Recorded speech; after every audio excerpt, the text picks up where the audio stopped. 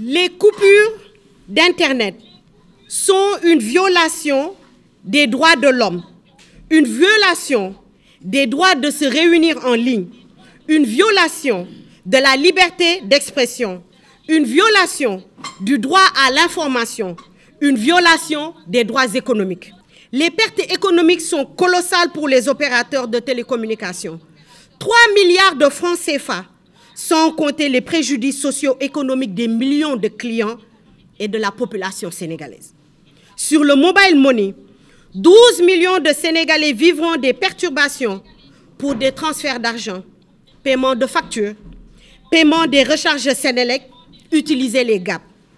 Sur le télétravail, les travailleurs qui restent chez eux pour éviter les foyers de tension lors des manifestations sont aussi pénalisés et leurs employeurs avec. Nous appelons l'État à rétablir la connexion via les données mobiles et à mettre fin aux coupures intempestives de ce service.